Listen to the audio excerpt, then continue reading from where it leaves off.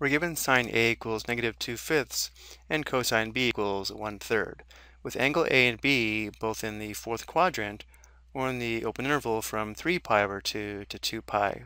We want to determine sine of the quantity A plus B as well as cosine of the quantity A minus B. So we'll be applying the sum of difference identities provided here below.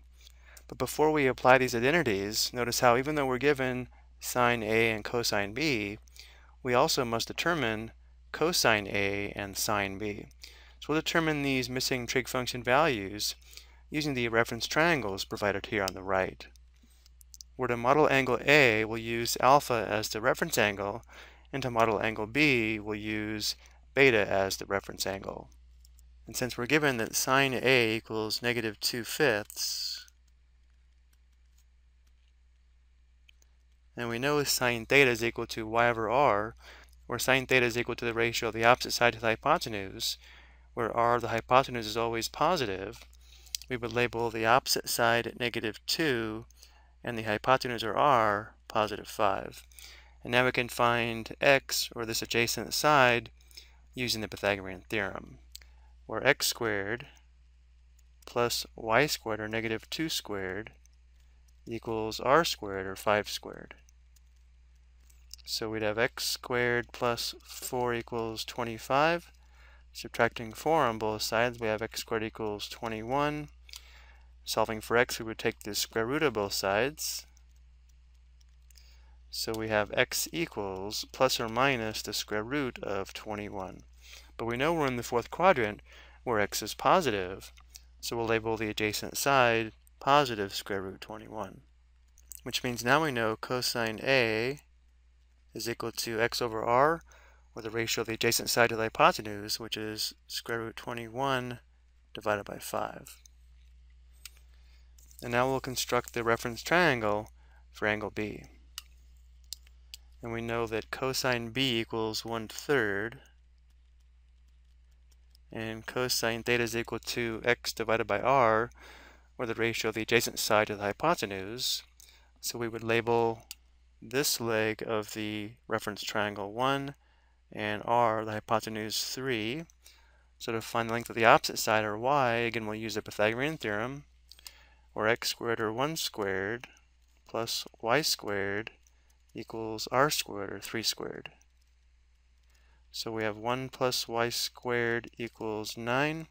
Subtracting 1 on both sides, we have y squared equals 8. Taking the square root of both sides, we have y equals plus or minus the square root of 8, but this does simplify since 8 is equal to 4 times 2, and the square root of 4 is 2, we have y equals plus or minus 2 square root 2. But again, because we're in the fourth quadrant where y is negative, y is equal to negative 2 square root 2, which means sine b is equal to negative 2 square root 2 divided by 3. Now we have all the trig function values that we need, and we can now apply the sum of difference identities.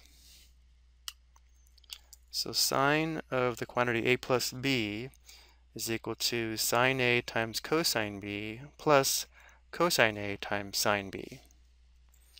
So again we have sine a times cosine b plus cosine a times sine b. So subbing in the values, sine a is equal to negative 2 fifths, cosine b is equal to positive 1 third, cosine a is equal to square root 21 divided by 5, And sine b is equal to negative 2 square roots of 2 divided by 3. Notice how we do have a common denominator of 15. The numerator would be, here we have negative 2 times 1, that's negative 2. Here we'll have plus and negative, or just minus, and then we'd have 2 square root of 21 times 2 is 42 and the square root of 42 does not simplify since the prime factorization of 42 is 2 times 3 times 7. So this would be the exact value of sine of the quantity A plus B. Now let's look at the second part of this question. Notice that cosine of the quantity A minus B is going to be equal to cosine A times cosine B plus sine A times sine B. Notice how because we have a difference, we'll be using a sum when we apply the identity. So again, we have cosine A times cosine B plus sine A times sine B. So again, subbing in the trig function values, cosine A is equal to the square root of 21 divided by 5. Cosine B is equal to 1 third. Sine A is equal to negative 2 fifths. And sine B is equal to negative 2 square root 2 divided by 3. Once again, notice how we do have a common denominator of 15. Here we have square root 21 times 1, of course that's square root 21, plus negative 2 times negative 2 square root 2 would be positive 4 square root 2. So this would be the exact value of cosine of the quantity a minus b. I hope you found this helpful.